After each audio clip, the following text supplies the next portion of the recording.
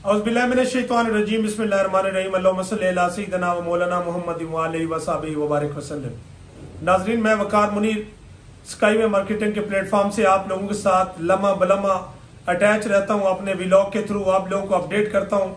इस्लामाबाद के तमाम जो है, वो जितने भी हाउसिंग प्रोजेक्ट चल रहे हैं, उनके ऊपर बातचीत होती रहती है।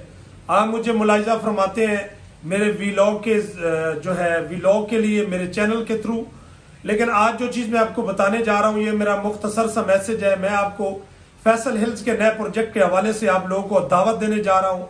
आप आए, उस प्रोजेक्ट का हिस्सा बने। 12 अक्टूबर को वो प्रोजेक्ट लॉन्च हो जाएगा, प्रॉपर उसका रेट मार्केट के अंदर आ जाएगा। होपफुली उससे पहले आ जाए।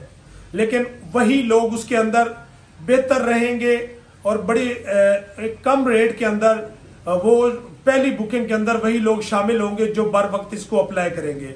उसके लिए मैं अपना एक लिंक आप लोगों को सेंड करूँगा। जो जो लोग इसके अंदर इंटरेस्टेड है, वो बर वक्त उस लिंक को ओपन करने के बाद, उसके ऊपर उनकी पूरी मुकम्मल डिटेल होगी। नाम, उसके बाद उनकी बल्दियत, उसके साथ C N I C number nominee और उसके बाद उनकी अमाउंट के, कितनी अमाउंट का वो टोकन करना चाहते हैं। बारह तारीख को जब ये प्रोजेक्ट लॉन्च होगा तो फ़र्स्ट कम, फ़र्स्ट सर्व की बुनियाद के ऊपर ये चीज़ें जो है होंगी।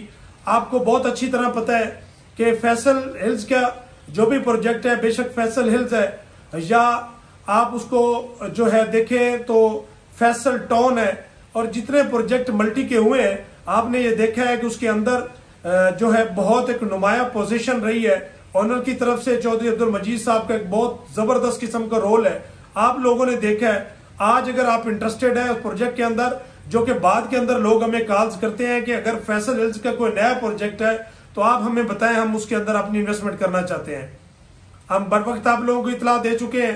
बाकी इसकी डेवलपमेंट इसकी लोकेशन तमाम चीज़ें इनशाला हमारे यूट्यूब चैनल के ज़रिए आप लोगों को मिलती रहेंगी। आज का हमारा ये मैसेज मैं बुकिंग के हवाले से आप लोगों को बता रहा हूँ। सिर्फ़ फिफ्टी थाउज़ेंड के ऊपर आप अपनी बुकिंग को यकीनी बना सकते हैं।